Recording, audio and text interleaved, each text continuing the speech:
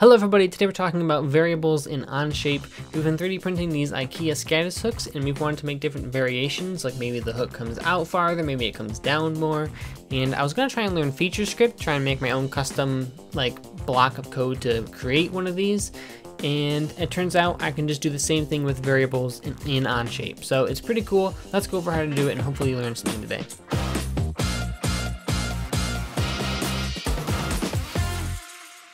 Alright, so I have a half finished sketch here and we're going to complete it with our variables.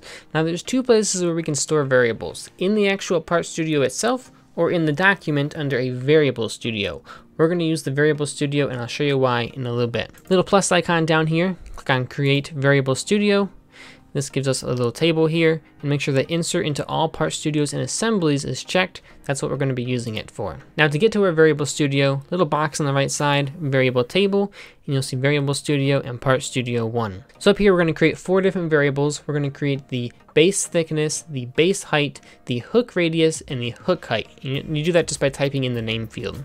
And now there are a couple different variable types. You have length, angle, number, any. We're just using length today, so we're gonna leave that alone.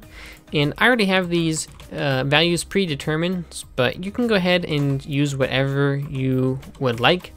Um, doesn't really matter, just whatever you're using for your variables. And description, if you ever um, need like help in the future, you forget what your variables are for, little text box for you, pretty nice.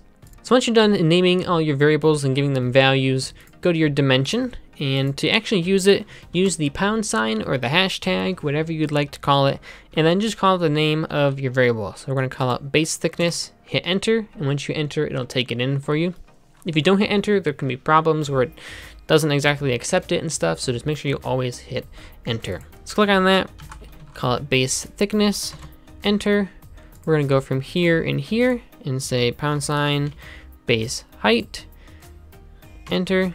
This one is a radius of 0.25, but we're going to go ahead and override that by saying hashtag hook radius, enter, and then dimension from there to there, and that is going to be hashtag hook height. Wonderful. So everything is now constrained. And if we went through and changed a couple of these values, you would see that the hook now changes.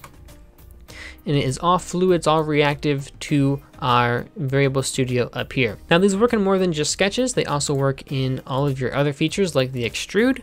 So we're gonna go ahead and say base thickness, hit enter. It takes it. And now we have a wonderful little square here because they're the same dimension. And now to get our perfectly smooth little rounded hook, we're gonna go ahead and also use it in the fillet. We're gonna use that face, that face, the back, the, not the edge, the face of the bottom, and the face of the top. And we're gonna do math this time with our variable. So hashtag base thickness divided by two, enter, and now we have a perfectly smooth IKEA Skadis hook. Now, why are we using the Variable Studio instead of the variables in the Part Studio 1? Well, because if you create, let's say, variable 1, right, it's going to go ahead and actually add it to your Part Studio in a little like feature tree insert. Problem is, if you go into Sketch and you try renaming this to variable 1, it's not actually there yet because it's below the sketch in our feature tree. So that's one of the problems um, with doing it in the actual Part Studio now you can just bring it up to the top and now if you say pound sign variable one, uh, it's there. So it's not a huge problem. It's not like a deal breaker, just a little bit not as easy to use. But if you have a whole bunch of different documents or you know parts to do inside of your document and it gets confusing, maybe this is a little bit easier. But there you go, that is variables in Onshape. I hope it helps you to make some incredible things. Maybe you're making a hook, maybe you're making something else that you need to just change on the fly. They're very easy to use, and hopefully you learned something today. If you want to see more, hit subscribe, and if you have any questions, leave them in the comment section down below. Until next time, take care.